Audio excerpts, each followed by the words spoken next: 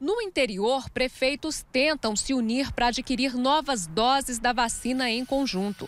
Essa é uma das estratégias em São Luís de Montes Belos, que tem mais de 34 mil habitantes. Nosso objetivo é providenciar a aquisição da vacina para a nossa cidade, para as cidades que assim também desejarem, para que nós possamos acelerar a vacinação, fazendo com que, com que nós possamos imunizar a nossa população e que a a vida possa voltar ao normal o mais rápido possível. Mas enquanto a imunização segue lenta, a Covid avança rápido e os decretos precisam ficar cada vez mais rígidos. Em São Luís, além da capacidade reduzida a partir das sete da noite, todo o comércio fecha e só pode funcionar delivery. No domingo, nada pode abrir e até as aglomerações em casa estão proibidas. O decreto também proíbe esse tipo de aglomeração que é considerada aglomeração qualquer ajuntamento de pessoas que esteja fora do âmbito familiar, sem nenhuma explicação, sem nenhuma justificativa, sem nenhuma legalidade.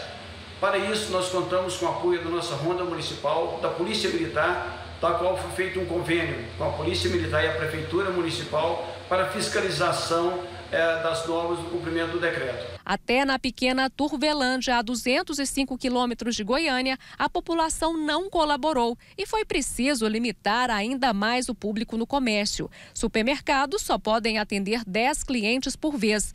Nas lojas, só duas pessoas. Bebidas alcoólicas não podem ser vendidas a partir das 10 da noite até às 6 da manhã. Igrejas e templos religiosos só podem fazer duas celebrações por semana e seguindo normas de segurança. Os eventos e aglomerações estão proibidos até na zona rural. Em Caldas Novas, o prefeito e a filha foram internados após diagnóstico de Covid-19. A cidade adotou barreiras sanitárias nas principais avenidas. Hotéis e pousadas funcionam com 50% da capacidade. Essa restrição hoje ela permite a gente continuar nossas atividades com bastante segurança.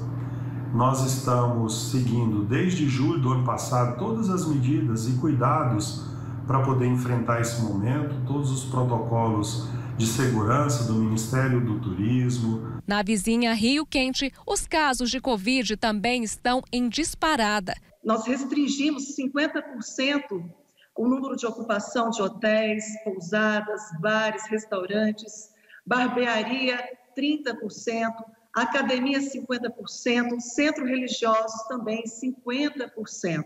Nas redes sociais, Ibanês Rocha disse que se reuniu com prefeitos das cidades do entorno e que se eles cumprirem o que foi acordado, não será necessário fechar a divisa.